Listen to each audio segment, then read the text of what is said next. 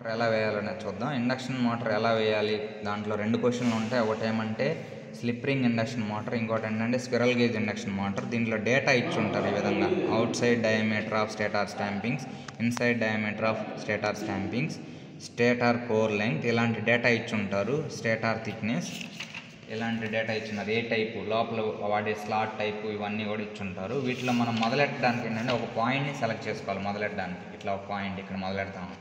ఈ మొదలెట్టడానికన్నా ముందు ఈ డేటా నుంచి ఎంత మనం యోక్ వేయాలి ఎంత మనం స్టేటార్ వేయాలి ఎంత మనం రోటార్ వేయాలి అనేది మనం డేటా ఇచ్చుంటారు. ఆ డేటాను ఫాలో అయ్యి మనం ఏం చేయొచ్చు అంటే ఇక్కడ ఇండక్షన్ మోటార్ అనేది వేయొచ్చు ఎండ్ వ్యూ. ఓకే? సో కాబట్టి ఇట్లా ఫస్ట్ ఏం ఏముంటుందంటే అవుటర్ డై ఆఫ్ స్టేటార్ ఇచ్చున్నాడు. అదంతంటే టూ ఎయిటీ ఎయిట్ ఇచ్చున్నాడు. అలాగే thickness of yoke. Yoke thickness ఇచ్చున్నాడు. థిక్నెస్తో ఒక సర్కిల్ అనేది వేయలేం కాబట్టి మనం ఏం చేయొచ్చు అంటే ఈ థిక్నెస్ని ఈ థిక్నెస్ని ఇది థిక్నెస్ అంటే ఇది ఒక థిక్నెస్ ఇది ఒక థిక్నెస్. ఈ థిక్నెస్కి ఈ stator stator outer dia again add చేస్తే అంటే ఇది టూ ఎయిటీ ఎయిట్ కదండి ఇది టూ ఎయిటీ ఎయిట్ ఉంటుంది. సో దీనికి థర్టీ వన్ డౌన్లో థర్టీ వన్ పైన యాడ్ చేస్తే మనకేమవుతుంది? యోక్ యొక్క డయామీటర్ అనేది ఈ విధంగా వస్తుంది. ఓకే? దాన్నే మనం ఫస్ట్ వేయాలి ఎంత thirty one thirty one add చేస్తే sixty two plus two eighty eight. ఎంత? సిక్స్టీ టూ యాడ్ చేస్తే జీరో ఇక్కడ one so seven five so ఇది three five. Three five zero అంటే ఇక్కడ నుంచి ఇక్కడ త్రీ ఫైవ్ జీరో ఉంటే మనకి బాగా ఎక్కువ అయిపోతుంది కాబట్టి దీన్ని ఏం చేయాలి? త్రీ ఫిఫ్టీని బై త్రీ కానీ బై ఫోర్ కానీ స్కేలింగ్ అనేది చేయాలి. స్కేలింగ్ చేస్తే మనకేమొస్తుందంటే మనకేమొస్తుందంటే three fifty diameter by four. ఇది డయామీటర్ వస్తుంది. ఈ డయామీటర్తో మనం ఏం చేయొచ్చు అంటే ఒక సర్కిల్ అనేది వేయచ్చు. ఓకే ఒక సర్కిల్ అనేది ఈ విధంగా ఫస్ట్ స్టార్ట్ చేస్తాం అనమాట ఈ విధంగా స్టార్ట్ చేస్తాం. దీన్ని ఏమంటారంటే యోక్ యొక్క డయా దీన్ని యోక్ యొక్క డయా ఓకే సో దీన్ని ఏం చేయొచ్చు అంటే మనం ఈ పాయింట్కి మనం ఏం చేస్తామంటే రెఫరెన్స్ లైన్ ఇలా తీసుకుంటాం. ఇలా స్కేల్తో డ్రా చేయండి. సో ఇదేంటంటే యోక్ అండి. ఓకే ఇది యోక్ దీని తర్వాత మనం ఏం చేస్తామంటే మీకు already ఇచ్చున్నాం. Outer dia two two eighty eight ఇచ్చున్నాం కదా ఆ టూ ఎయిటీ ఎయిట్ని బై ఫోర్ చేస్తే డయామీటర్ టూ ఎయిటీ ఎయిట్ వస్తుంది. దాంతో ఏం చేయొచ్చు ఇంకొక సర్కిల్ అర్థమవుతుందా ఇక్కడ circles గీయడమే important okay next two eighty eight తర్వాత టూ సిక్స్టీన్ ఏంటిది? ఇన్నర్ డయా ఇన్నర్ డయా ఎంత అంటే టూ సిక్స్టీన్ ఆ టూ సిక్స్టీన్తో బై ఫోర్ వేస్తే మళ్ళీ ఏం చేయొచ్చు? ఇంకో సర్కిల్ వేయచ్చు ఇక్కడ. ఇంకొక సర్కిల్ ఓకే ఇంకొక సర్కిల్ వేయచ్చు. నెక్స్ట్ ఏంటండి? రోటార్ డయా తర్వాత రోటార్ డయా రోటార్ డయా ఎంత అంటే టూ ట్వెల్వ్. ఇది టూ సిక్స్టీన్ కదా. ఇంకోటి రోటార్ అవుటర్ డయా ఎంత అంటే రోటార్ యొక్క అవుటర్ డయా. రోటారు స్టేటార్ అని రెండు ఉంటాయి ఇక్కడ పార్ట్స్. దాంట్లో రోటర్ యొక్క పార్ట్ టూ ట్వెల్వ్. టూ ట్వెల్వ్తో మనం ఏం చేయొచ్చు అంటే ఇంకొక సర్కిల్ అనేది చాలా దగ్గరగా ఉంటుంది. స్టేటార్కి దగ్గరగా ఉంటుంది. ఏంటి? రోటర్ యొక్క అవుటర్ డయా. రెండు దగ్గరగా ఉంది. ఇది రోటర్ యొక్క అవుటర్ డయా. దాని తర్వాత rotor inner dia thirty six అనమాట thirty six. Rotor inner dia rotor inner dia దీంతో ఇంకొక సర్కిల్ అనేది వేస్తాం. మీరు ప్రో సర్కిల్ వాడచ్చు లేకపోతే కంపాస్తోనే ఇలా వాడచ్చు అనమాట కంపాస్తోనే మనం ఇలా సర్కిల్ అనేది వాడచ్చు. ఓకే? ఇది మెయిన్ పార్ట్ చూడండి. ఇది యోక్ మీకు అలర్ట్ చెప్పుకున్నాం. ఇది స్టేటార్ అలర్ట్ చెప్పుకున్నాం. ఇదేంటంటే రోటార్. ఓకే? ఇవి మెయిన్ పార్ట్స్ అండి. ఇప్పుడు మనం ఏం చేయాలి? వీటిలో స్లాట్స్ అనేది వేయాలి. సో స్లాట్స్ సైజెస్ మీకు ఆల్రెడీ ఇచ్చుంటాడు ఇక్కడ. ఇక్కడ చూడండి మీకు ఆల్రెడీ స్లాట్ సైజెస్ ఇచ్చుంటాడు చూడండి. Slot size slot size so rotor సంబంధించి slot size slot number slot size ఇచ్చుంటాడు వీటిని మనం వేయాల్సి వస్తుంది. స్లాట్స్ ఇక్కడ స్లాట్ నెంబర్ చూస్తే థర్టీ సిక్స్ ఉన్నాయి. థర్టీ సిక్స్ ఈ స్లాట్స్ ఇక్కడ వేయాలి.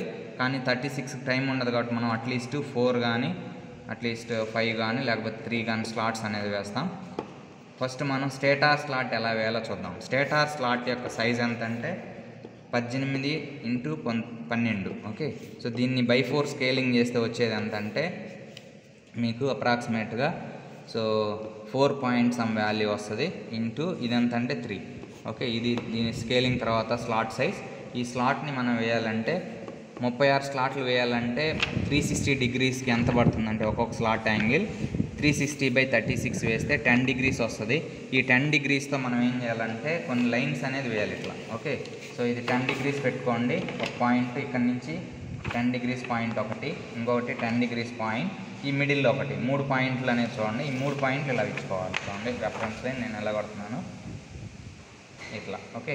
ఇది ఒక రెఫరెన్స్ లైన్ నెక్స్ట్ది ఇంకొక రెఫరెన్స్ లైన్ ఇంకొకటి ఇది స్లాట్ వేయడానికి ఉపయోగపడాల్సిన లైన్స్ ఇవి.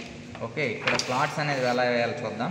సో మనకి ఆల్రెడీ మెజర్మెంట్లో ఎంత ఉందండి? ఫోర్ పాయింట్ త్రీ ఉంది కదండి. ఒకటేమో హైట్ ఒకటేమో లెంగ్త్ అండి. సో ఇక్కడ స్టేటార్లో మనం వేయాలి. ఇప్పుడు స్లాట్ స్టేటార్లో వేయాలి. కాబట్టి ఇక్కడ స్టేటార్లో వేయాలి కాబట్టి ఎట్లానో చూద్దాం.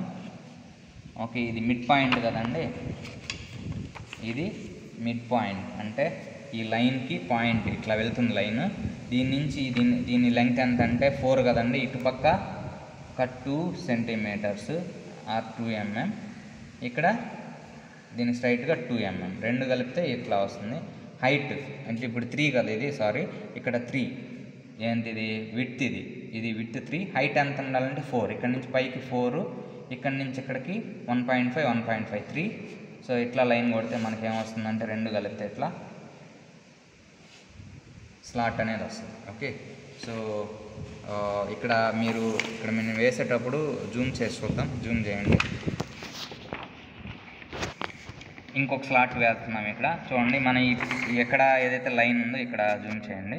సో ఇక్కడ ఇది ఫిక్స్ చేయండి ఇక్కడ. ఈ లైన్ ఈ డ్రాటర్ స్కేల్ ఇక్కడ ఫిక్స్ చేయండి. ఫిక్స్ చేసిన తర్వాత దీన్ని నేరుగా ఇలా తీసుకెళ్ళండి ఇక్కడ ఇక్కడికి. ఓకేనా సో ఇక్కడ నుంచి ఇక్కడికి ఎంత? Point one point five one point five means one point five mm అనుకోండి ఇక్కడ ఇక్కడ వరకు వచ్చింది అనుకోండి one point five mm so దీనికి కూడా సేమ్ ఇట్లా పైకి తీసుకెళ్తే ఇక్కడ నుంచి వన్ పాయింట్ ఫైవ్ తీసుకుంటే ఇది ఒక పాయింట్ ఏ పాయింట్ ఇది?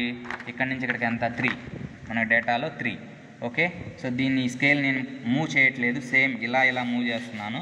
సో ఇప్పుడు దీన్ని ఇక్కడి నుంచి పైకి ఎంత ఉండాలి? ఫోర్ ఉండాలి. ఫోర్ కలపండి. ఇక్కడి నుంచి ఇక్కడికి ఫోర్ ఉండాలి. వన్స్ ఈ యాంగిల్ ఫిక్స్ చేస్తాం. మీరు ఏదైతే టెన్ డిగ్రీస్ ట్వంటీ డిగ్రీస్ పెట్టుంటారు కదా టెన్ టెన్ డిగ్రీస్ ఇది ఫిక్స్ చేసిన తర్వాత దీన్ని మూవ్ చేస్తున్నాను నేను. ఓకే దీన్ని ఇలా ఇలా మూవ్ చేస్తున్నాను. అప్పుడే యాక్యురేట్గా వస్తాయి. నేను ఈ రెండు లైన్లు కలుపుతాను. ఇంకో స్లాట్ అనేది వచ్చేస్తుంది. ఇది ఏంటండి ఇది? ఇంకొక స్లాట్. దీన్ని ఇక్కడ రఫ్ చేయొచ్చు. సో ఇది రఫ్ చేస్తే మీకు ఇట్లా వస్తుంది స్లాట్. ఇక్కడ మనం కండక్ట్స్ పెట్టుకోవచ్చు యాక్చువల్గా. ఓకేనా? ఇది స్లాట్ వేయడం. ఇక్కడ కూడా అంతే. నేను ఇప్పుడు ఏం చేయాలి? టెన్ డిగ్రీస్ పెట్టాలి ఇది. ఇప్పుడు నేను మూవ్ చేసేది ఇట్లా ఇట్లా మూవ్ చేశాను ఇక్కడ నుంచి ఇక్కడికి వన్ పాయింట్ ఫైవ్ పెట్టాను ఇక్కడ నుంచి ఇక్కడికి వన్ పాయింట్ ఫైవ్ పెట్టాను రెండు పాయింట్స్ ఇక్కడ నుంచి పైకి ఫోర్ పెట్టాను ఇక్కడ నుంచి పైకి ఫోర్ పెట్టాను అప్పుడు నేను ఈ రెండింటిని కలిపాను. మనం ఏదైతే ఇమాజినరీ లైన్స్ కొట్టున్నామో ఇమాజినరీ లైన్స్కి ప్యారలల్గా ఇది ఉండాలి. అంటే ఇది ఇలా ఉన్నప్పుడు ఇది కూడా ఇలానే ఉండాలి. దీనికి ప్యారలల్ పర్పెండికులర్గా ఈ లైన్ పర్పెండికులర్గా ఇది ప్యారలల్గా ఉండాలి. నువ్వు ఈ లైన్ కొడితే ఈ లైన్కి ప్యారలల్ పర్పెండికులర్ స్లాట్ అనేది ఉండాలి. ఇలానే మనం మిగతా స్లాట్లను కూడా వేస్తాం. ఏవి రోటార్ స్లాట్ను కూడా ఇదే విధంగా వేస్తాం. ఓకేనా? సో ఈ విధంగా మనం స్లాట్స్ వేస్తాం. దాని తర్వాత మనం ఏం చేయాలి? సో ఇక్కడ ఐ బోల్ట్ను ఒకటి ఫిక్స్ చేస్తాం ఇట్లా. దీని తర్వాత ఫుట్ రెస్ట్ ఇలా వేస్తాము. ఓకే? సో ఇలా ఫుట్ రెస్ట్ వేస్తాము. దాని తర్వాత హ్యాచింగ్. ఇక్కడ హాఫ్ సెక్షన్ ఎలివేషన్ కాబట్టి హ్యాచింగ్ అనేది వేస్తాం ఇట్లా. ఈ హ్యాచింగ్ ఎలా కొట్టాలంతా కూడా వీడియో చేస్తున్నాం. దానిలో మీరు చూడొచ్చు. హ్యాచింగ్ అనేది ఒకటి హ్యాచింగ్ ఇలా ఉంటే రోటర్ యొక్క హ్యాచింగ్ స్టేటర్ యొక్క హ్యాచింగ్ వేరే ఉంటుంది. మామూలుగా నార్మల్గా స్టేటార్కి రోటర్కి హ్యాచింగ్ అనేది ఇవ్వము ఇక్కడ. ఓన్లీ యోకు మాత్రం హ్యాచింగ్ అనేది ఇస్తాం. దీంట్లో డక్స్ ఏ డక్స్ అనేది సో రోటార్లో నాలుగు ఏమంటారు ఆ నాలుగు ఒక డయామీటర్ పెట్టుకొని మన ఇమాజినరీ డయామీటర్ పెట్టుకొని దానికి దానికి సంబంధించిన డక్స్ అనేది వేయచ్చు. ఇది డక్స్ అండి. సో నేను సింపుల్గా వేస్తున్నాను. అప్రాక్సిమేట్ డయామీటర్తో అంటే చూడండి. ఇట్లా ఒక అప్రాక్సిమేట్ ఇలా పెట్టుకున్న తర్వాత మనం డక్స్ అనేది వేయచ్చు ఆటోమేటిక్ వీటిని కలిపితే ఏమొస్తుంది? వీటిని కలిపితే ఏమొస్తుంది? మనకి డక్స్ అనేది వస్తాయి. ఓకేనా చూడండి జస్ట్ ఇది ఇక్కడ ఏదైతే డయామీటర్ యూస్ చేసావో అదే ఇక్కడ కూడా కొడుతుంది చూడండి ఇట్లా. ఓకే ఇంకొకటి ఇట్లా. ఇట్లా కొట్టాను. దీని తర్వాత డక్స్ అంటే ఇట్లా. దీని మెజర్మెంట్ లేదు కాబట్టి నేను ఫాలో అవ్వచ్చు ఈజీగా ఓకేనా ఇలా డక్స్ వేస్తాం. ఇక్కడ కొన్ని డక్స్ లేకపోతే యోక్లో కొన్ని డక్స్ ఇచ్చి ఉంటాడు. ఫోర్ ఇస్తే ఇక్కడ రెండు ఇక్కడ రెండు. ఎనిమిది ఇస్తే ఇక్కడ రెండు ఇక్కడ రెండు ఇక్కడ రెండు ఇక్కడ రెండు. అంటే ఎనిమిది అవుతాయి రోటర్లు ఓకే సో అలా మనం డక్స్ అనేది మెజర్మెంట్ ఏమి ఇవ్వడు కాబట్టి ఇలా వేయచ్చు. ఓవరాల్గా చెప్పాలంటే స్టార్టింగ్లో ఈ కొలతలు రెండు వందల ఎనభై ఎనిమిది ప్లస్ అరవై రెండు వేస్తే మనకి మూడు వందల యాభైతో యోక్ యొక్క డయామీటర్స్ దాంతో స్టార్ట్ చేసాం. మిగతా సర్కిల్స్ అన్నీ కూడా డయామీటర్స్ తీసుకొని అన్ని సర్కిల్స్ చేసాం పార్ట్స్ అన్నీ కూడా. వీటికి మనం మెజర్మెంట్స్ చూడండి. సో ఈక్వల్ ఈక్వల్గా స్ట్రైట్గా ఒక సెంటీమీటర్ గ్యాప్తో పాయింట్స్ పెట్టుకోండి. ఈ పాయింట్స్ ఇలా కలపండి. ఇలా కలపండి ఆరిజిన్కి. మెజర్మెంట్ అనేది అని వస్తుంది. నేను ఒక centimetre line one centimetre line one centimetre line one centimetre line one ఇక్కడ మెజర్మెంట్స్. ఏవైతే డేటాలు ఇచ్చినా ఆ మెజర్మెంట్ ఇవ్వాలి లిమిట్స్ గ్యారంటీ ఉండాలి లిమిట్స్. ఓకేనా? ఇది మీకు ఎండ్ వ్యూ ఆ ఎండ్ వ్యూ నేమ్స్ ఇక్కడ రాస్తాము. ఇది మెజర్మెంట్. ఎండ్ వ్యూ వేస్తే పెద్ద మాటలు వస్తాయి. దీన్ని ప్రొజెక్ట్ చేసుకోండి ఇట్లా. ప్రొజెక్ట్ చేసుకోండి. ప్రొజెక్ట్ చేసుకొని ఈ బాడీని దీనికి ఎదురుగా ఒక స్టేటార్ కోర్ లెంగ్త్ అనేది ఒక్కటే మెయింటైన్ చేసి ఇక్కడ బాడీని యాస్టీజ్ వేయగలిగితే ఈ బాడీని యాస్టీజ్ వేయగలిగితే మీకు ఎన్ని వస్తాయండి. దీనిలో కూడా పది మార్కులు వస్తాయి. దీనిలో మెజర్మెంట్స్ చాలా తక్కువ ఫాలో అవుతారు. యాస్టీజ్ డయాగ్రామ్ని ఇక్కడ వేస్తే మీకు పది మార్కులు వస్తాయి. ఈ పది ఈ పది కూడితే వచ్చేది ఇరవై మార్కులు. Can get at least approximate twelve to fifteen marks మీరు వేస్తే పదిహేను మార్కులు పన్నెండు మార్కుల నుంచి పదిహేను మార్కులు తెచ్చుకోవచ్చు. ఈజీగా మనం పాస్ అవ్వడానికి యాడ్ అవుతుంది ఇది. Okay thank you